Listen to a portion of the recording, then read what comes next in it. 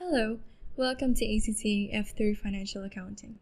Today we will be learning about IAS 2 Inventory. This IAS states clearly on the ways of how to value inventory and also a principle that is meant to be followed on how to value inventory. But firstly, because inventory is included in the cost of sales figure, let's get into how to calculate cost of sales firstly. Cost of sales is normally known as cost of goods sold. And the contents of it are the opening inventory being how much was our stock in the beginning of the year. And we are going to add our purchases figure. Now, in some cases, uh, the purchases are going to be returned. Make sure that you deduct that from here. And we're going to deduct the closing inventory figure. Whatever was bought and was not sold by the end of the year, that will have to be excluded from the cost. Now, this is your general way of calculating cost of sales. However, there can be additional figures that we need to include. It depends also on the company policy. Sometimes they want to include expenses. There are other additional costs, which are carriage inwards and carriage outwards. Well, firstly, carriage relates to the cost of having to transport goods either into the company or out of the company. You're paying a carrier. So a carriage inwards is going to be when you have to pay for a carrier for bringing the goods into your company. Whereas for carriage outwards, that's when the company is going to incur carrier costs for transporting the goods outside, meaning the company is the one who's going to be selling the goods to the customers. So they may have to incur some carriage costs. The treatment will also be different. Carriage inwards here is added to purchases because this is going to be included as a cost of buying the goods itself because technically we're buying the goods from a supplier and we're incurring additional transport costs. But in cases where the supplier is responsible, that is where they will have to include carriage outwards. So this is going to be included as a selling expense. Now, a selling expense can also be known as the selling and distribution costs. Carriage inwards is going to affect your gross profit, whereas carriage outwards is going to affect the profit after the gross profit. So if in any case that these two are calculated or input in the wrong place, then it could affect profit differently. Okay, now let's get into a question for practice. Gwyn Tring, trading as Clickety Clocks, imports and resells clocks. He pays for the costs of delivering the clocks from his supplier in Switzerland to his shop in Wales. He resells the clocks to other traders throughout the country, paying the costs of carriage for the consignments from his business premises to his customers. So he's going to have to pay the carriage inwards and also the carriage outward. On 1st July 2005, he had clocks and inventory valued at $17,000. During the year to 30 June 2006, he purchased more clocks at a cost of $75,000. Carriage inwards amounted to $2,000. Sales for the year were $162,100. Other expenses of the business amounted to 56,000, excluding carriage outwards, which cost $2,500. The value of the goods in inventory at the year end was 15400 Prepare the statement of profit or loss of Clickety Clocks for the year ended 30 June 2006. So as you can see here, 30 June is representing our year end, whereas they give us a figure of 1st July 2005. So that means this is completely one whole financial year. So this is the beginning of the year. So in the beginning of the year, he had inventory of 17,000. This indicates an opening inventory figure so make sure you include this in your cost of sales. He purchased more clocks at a cost of 75,000.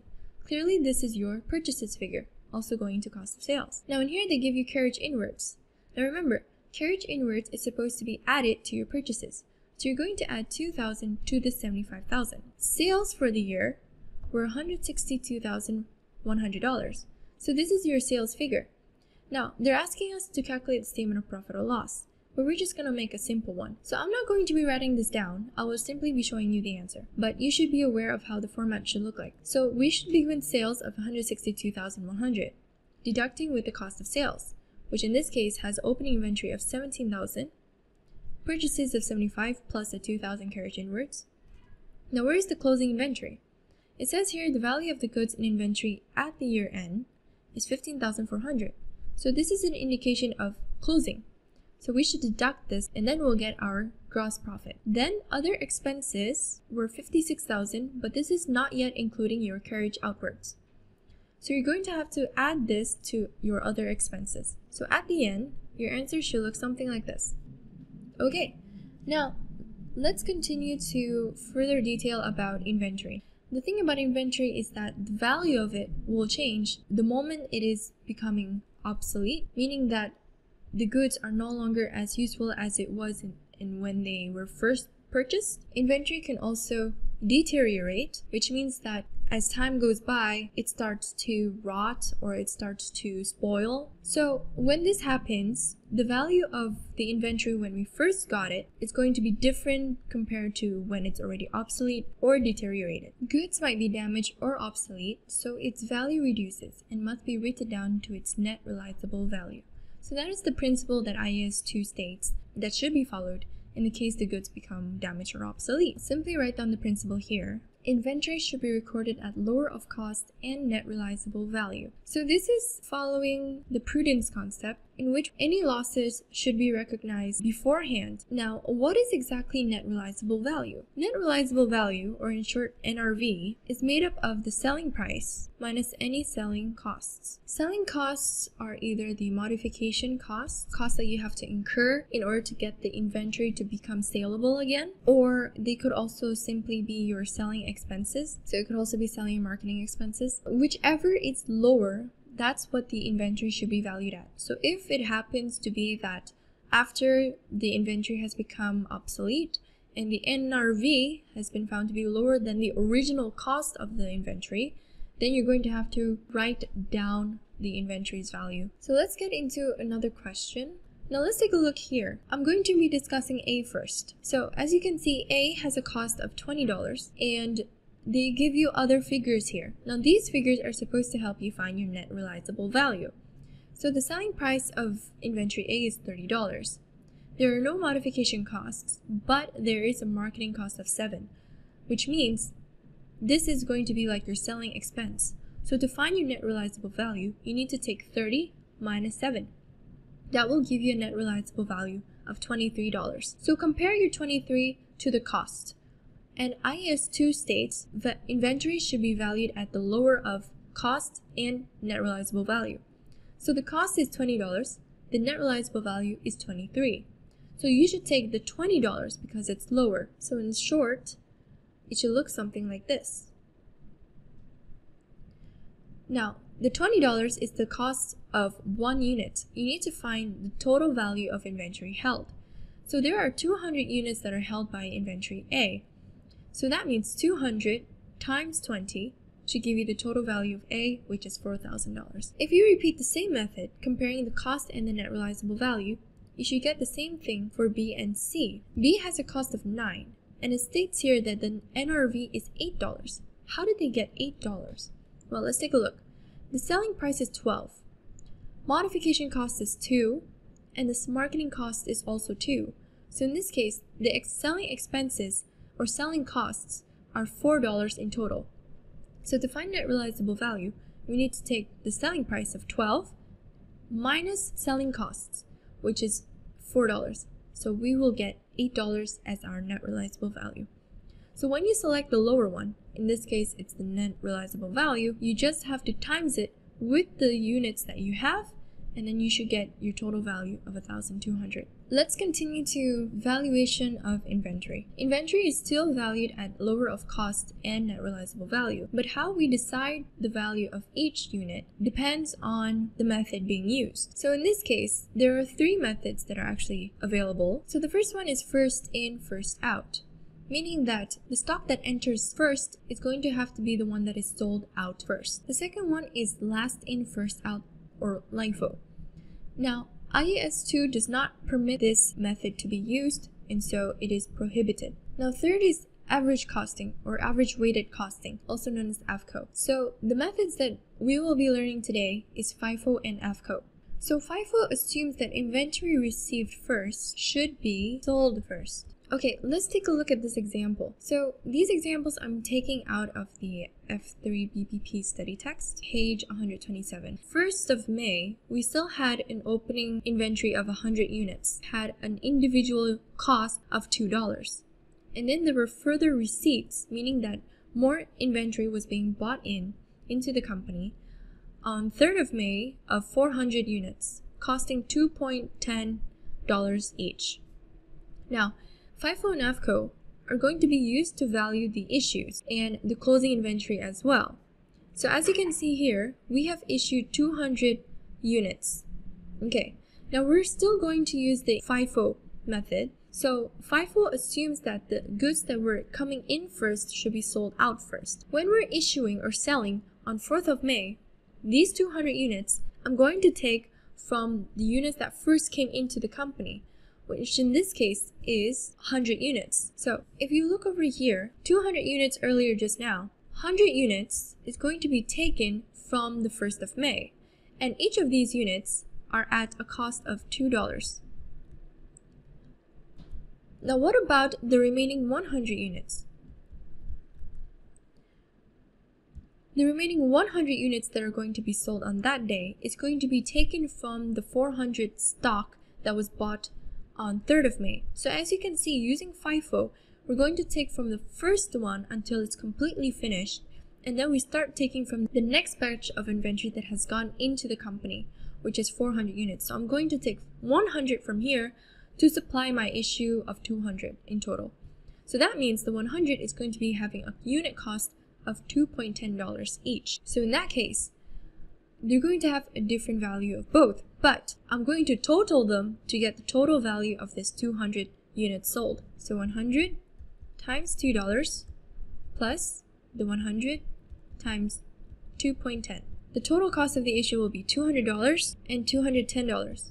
So basically $410 for this 200 units that I sold on 4th of May. That is going to be the cost of the issue. Now, Remember that we have taken 100 units from this batch, so now there's only 300 units left. So when we're going to issue again on 11th May, we're going to issue this 400 units. Where are we going to take it from? We need to take it from the first batch that came in. This batch will no longer be there because we already used the remaining 100 for the issue on 4th of May. So we're going to have to take from the next batch, which is this remaining 300. So 300 is going to be taken from here. But that's not enough because we're going to issue 400 units. So where are we going to take from next? We're going to have to take from the next batch or the next receipts, which was on 9th of May. So 300 was received. So that means we're going to have to take the remaining 300 and finish that all and take an additional 100 from this batch over here. So this 400 will be split. We're going to take 300 of the last batch and then the balance of 100 from the most recent batch which was on 9th of May which has a cost of $2.12 per unit. 300 times 2.10 plus 100 times 2.12 630 and 212 so in total the cost for these 400 units is going to be 800 42. So now we have used up this receipt. We have taken 100 from here. So that means it only has 200 units left. If you see here, we are only going to issue 100 units. So again, we need to take from the first most recent batch.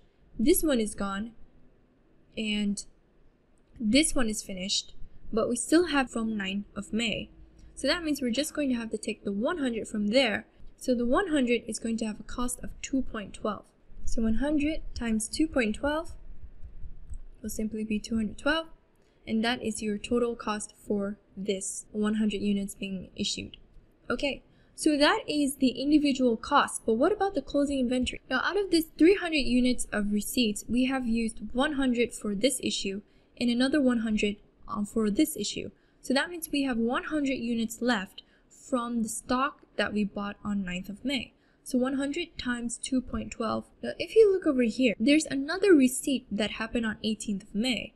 Now this now this batch was not used yet, so it is going to be unaffected because we had taken all of our issues from just this one batch of 300 units on 9th of May. So just take the whole 100 units times 2.40. So in total, our closing inventory is going to have a value of 452 according to the FIFO method. Okay, now for the average cost method, we're going to have to take a look from the study text. So let's take a look here. The cumulative weighted average pricing method calculates a weighted average price for all units in inventory. Issues are priced, so anything that is issued or sold is going to be at a value of its average cost, and the balance of inventory remaining would have the same unit valuation. So this is still using the same example. So let's take a look here what it means by weighted average price. But there's still another note that we need to look at. A new weighted average price is calculated whenever a new delivery of materials into store is received. So that means whenever we're going to buy a new amount of goods, we're going to have to update the cost of our inventory. So if we take a look here, earlier we had an opening inventory of 100 units, and in total they had cost $200. Now on the 3rd of May, we have bought a further amount of goods of 400. So that means we're going to have to add the total cost of our inventory up to date and compare it with our total units that we have to get a new cost per unit. So if you see here, 100 units in the beginning had cost $200. With an addition of 400 units, at the cost of 840, our total inventory now has a value of $1,040. And we currently have 500 units in stock. So that means one unit will be the total cost divided by the total units available. So that will give us 2.08 dollars. That's how we get our average cost. So in short, every time there are receipts, a new cost per unit will be calculated. And then how do we find the new cost per unit?